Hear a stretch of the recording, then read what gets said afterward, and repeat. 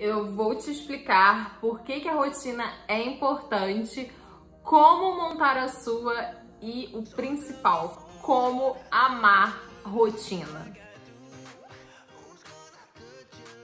Olá, meu nome é Natália e seja muito bem-vindo ao meu canal. Mais um vídeo sobre rotina e organização que eu adoro falar, eu adoro rotina e eu vou explicar para vocês por que, que a rotina ela é tão legal. E para isso eu vou te dizer os motivos de por que ela é tão importante para o nosso dia a dia. O primeiro motivo é a organização do nosso dia a dia.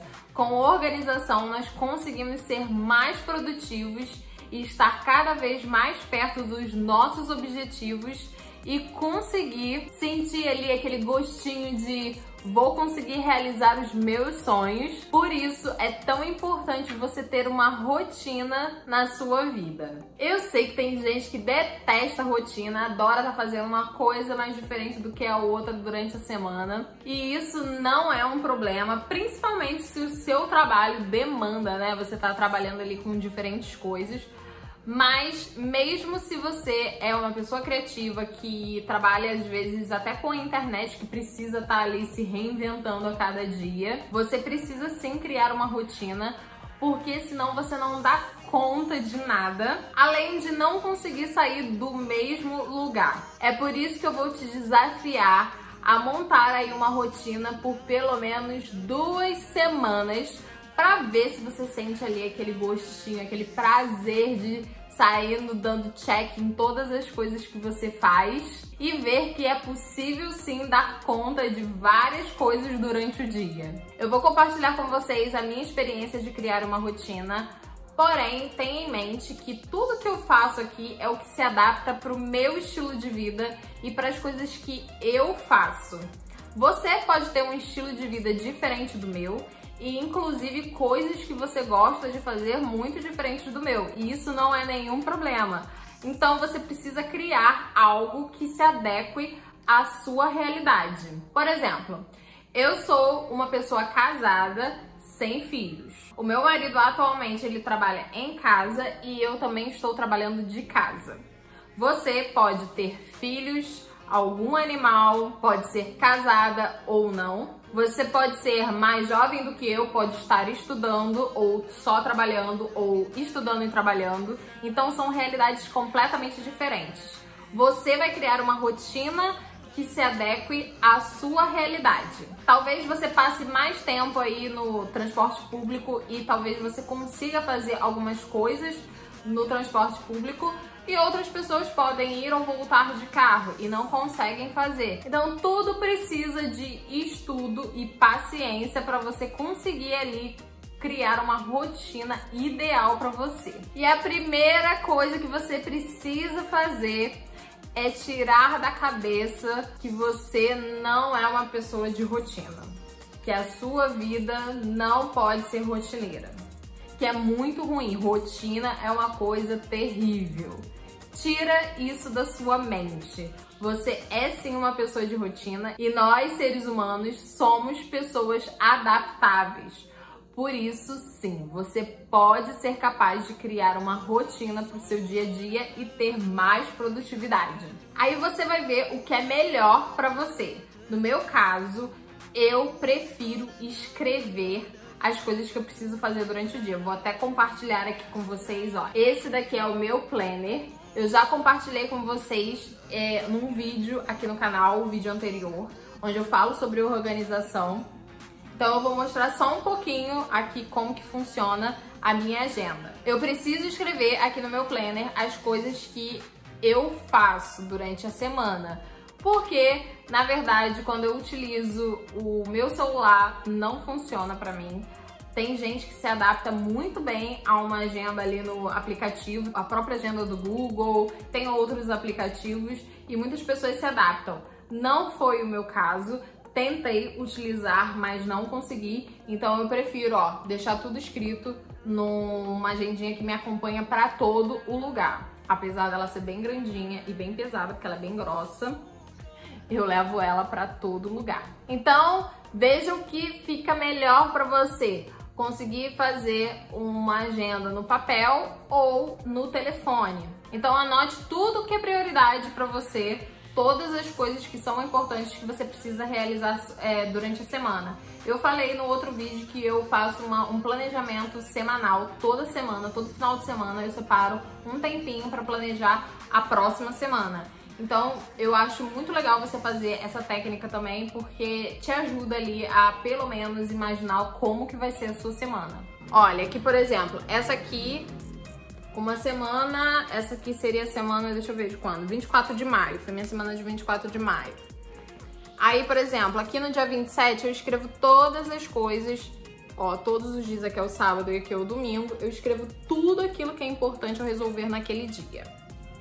Aí, vamos lá. É, são coisas de rotina mesmo que eu faço é, e que eu preciso estar tá sempre fazendo, preciso anotar para estar tá sempre fazendo, porque senão eu acabo esquecendo. Aí eu deixo ali para ler um livro, dar um bom dia para vocês nos stories, porque eu não tenho muito costume de aparecer nos stories, estou começando agora. Então já corre lá para me seguir. Também postar uma foto pelo menos por dia. E também tem uma aula de um curso que eu faço, então é muito importante. Além dos vídeos que eu gravo aqui, os vídeos que são necessários eu gravar. Então, por exemplo, na quinta-feira eu gravei dois vídeos e um saiu no canal. Então, tá anotadinho aqui 18 horas o vídeo que sai no canal na quinta-feira. Aí na sexta-feira, por exemplo, eu preciso editar o vídeo que eu gravei no dia anterior e fazer a capa também.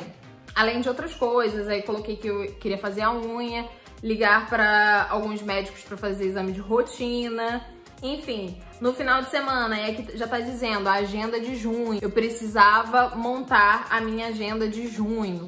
Quando eu coloco a agenda de junho, é porque eu preciso colocar, separar pelo menos os títulos dos vídeos pro mês de junho. Então já é uma coisa aí que eu planejo um, um mês antes. E no sábado também é o mesmo dia que geralmente eu preparo a agenda da próxima semana. Aí no domingo também tem algumas coisinhas aí que eu, que eu faço de rotina, como ler um livro, enfim, fazer outras coisas e ir à igreja. Aí eu separo aqui o horário. E, por exemplo, no início de cada mês eu tenho algumas metas, que são metas diárias que não vão mudar nunca. Como, por exemplo, aqui é a minha primeira meta, orar ao acordar. E toda vez que eu vou cumprindo, eu vou pintando. E onde eu não conseguir, eu coloco a carinha de triste. Vocês podem ver que isso aqui tá bem ruim, né? Que é beber mais de 2 litros de água por dia, que é muito difícil pra mim, gente. E aí aqui, por exemplo, skincare noturno. Aqui foi uma época que eu não estava dormindo muito em casa, a gente estava dormindo na casa da minha sogra. Então eu não consegui fazer o skincare do jeito que eu queria. Aí eu vou lá e coloco carinha de triste.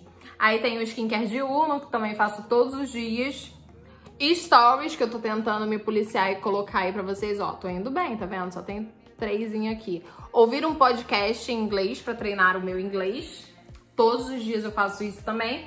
E ler a Bíblia todos os dias também. Ó, tá tudo pintadinho, então tá? Está ok. Então, essas são as minhas metas mensais que eu sei que eu tenho que fazer todos os dias, não posso deixar pular nenhum dia. Ele sempre fica anotadinho aqui no início do mês. E aí, as metas semanais são naquele espacinho lá que eu mostrei pra vocês, né? Durante a semana eu vou escrevendo ali. Outra coisa que pode te motivar a criar uma rotina é ter um objetivo. Lembra que eu comentei com vocês no outro vídeo que metas semanais, elas podem te ajudar e te motivar a ir atrás dos seus sonhos, dos seus objetivos, dos planos ali que você tem feito ao longo da vida. Então, esse é um dos grandes motivos para você criar uma rotina, porque você consegue ter ali mais ou menos algo palpável daquilo que você almeja tanto. Eu, por exemplo, passei por uma fase na minha vida em que eu fiquei desempregada, não conseguia nada na minha área e eu fiquei extremamente triste, mas assim, foi uma tristeza que me abalou psicologicamente. E depois que eu tive o hábito de criar uma rotina, colocar coisas ali no meu dia a dia, preencher o meu dia a dia com coisas que eu gostava de fazer, eu percebi que eu conseguia dar conta ali no meu dia a dia de mais e mais coisas.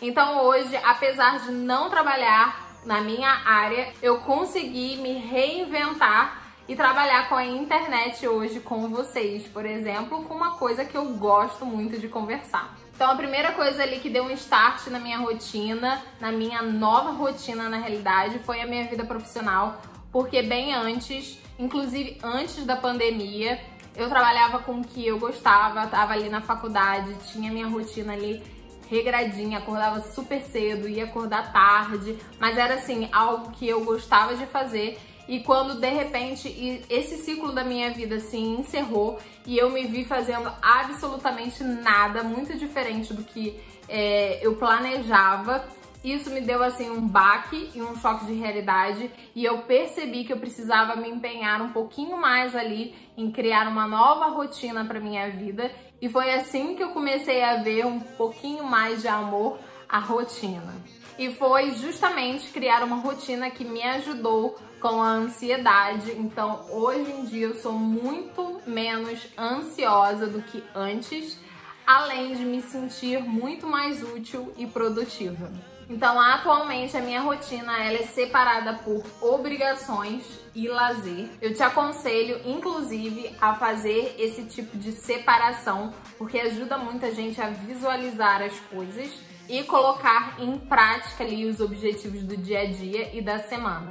Então, para mim, por exemplo, as obrigações do meu dia a dia são relacionadas ao meu trabalho e as coisas de dentro de casa. E no meu caso, por exemplo, as atividades físicas ou sair é, para comer alguma coisa ou para passear, isso faz parte do meu lazer assim também como ler um livro ou ouvir um podcast, apesar de eu colocar como um hábito que eu tenho que fazer todos os dias, não é uma obrigação, mas eu tento estabelecer ali coisas que me deixam bem, que eu gosto de fazer como uma coisa que eu preciso e necessito fazer todos os dias para tentar manter ali a sanidade mental, né, gente? Então, durante o seu dia, estabeleça obrigações e lazer. Não faça somente coisas que são obrigações no seu dia a dia, porque isso vai acabar te cansando. Então tenta ali colocar o lazer em alguma parte ali do seu dia, porque com certeza vai fazer muito bem, até mesmo para o seu descanso, que você precisa fazer ali uma pausa durante o dia das suas obrigações. Uma outra coisa importante que você precisa fazer para sua rotina é estabelecer horário. Tem gente que gosta de colocar horários para cada coisa do dia.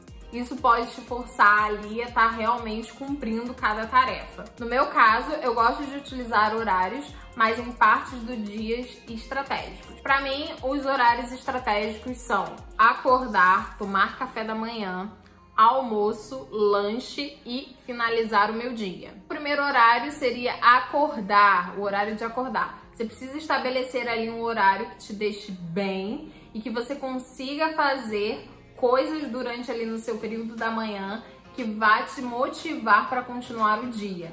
No meu caso, eu adoro arrumar a casa assim que eu tô ali basicamente acordando, porque eu não consigo fazer absolutamente nada se a minha casa estiver desorganizada.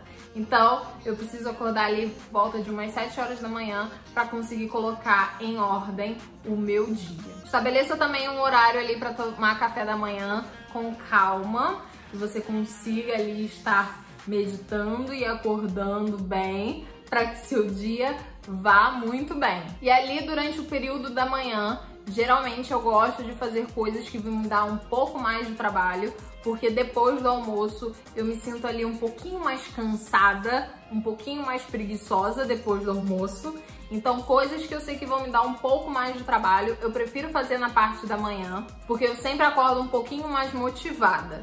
Agora, depois que eu almoço, eu vou e faço coisas que são assim, prioridades, mas que são mais fáceis assim de solucionar. Então, por exemplo, eu tenho que ligar para algum lugar e aí eu deixo um pouco mais para parte da tarde. Eu tenho que gravar um vídeo, às vezes que é assim, um pouco mais longo. Eu prefiro gravar no período da manhã. Ou eu tenho que editar um vídeo. Eu prefiro editar um vídeo no período da manhã porque é um pouco mais trabalhoso. Fazer exercício físico. Às vezes eu prefiro no período da manhã porque o sol tá um pouco melhor do que no período da tarde, porque no período da tarde já estou um pouco mais motivada. Depois então eu faço uma pausa pro lanche e aí continuo meu dia até mais ou menos ali umas 18 horas em que eu encerro meu dia e vou fazer outras coisas. Vou ver um filme, um seriado, enfim.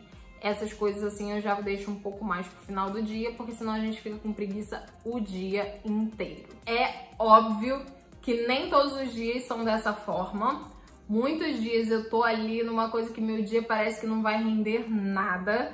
Eu faço exatamente ao contrário, eu vejo o seriado antes de manhã e aí meu dia não rende nada, absolutamente nada. Então eu evito, mas esse tipo de coisa acontece, é a realidade, acontece. E aí, infelizmente, o outro dia ele acaba ficando sobrecarregado porque eu não consegui fazer tudo que eu tava planejando para aquele dia. Então tenha muito cuidado com isso e elimine as distrações. O que você pode fazer assim para eliminar as distrações é um método muito incrível que, por exemplo, você pode estabelecer uma meta. Eu preciso ficar uma hora estudando direto essa tal matéria.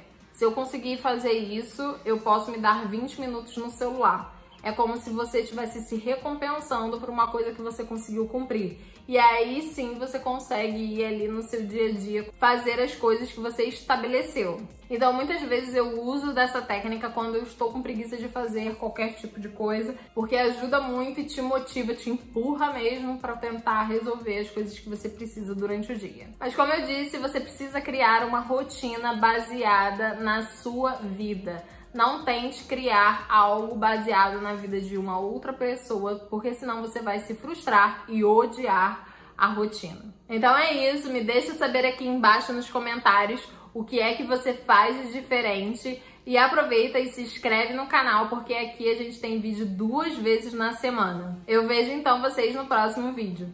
Tchau!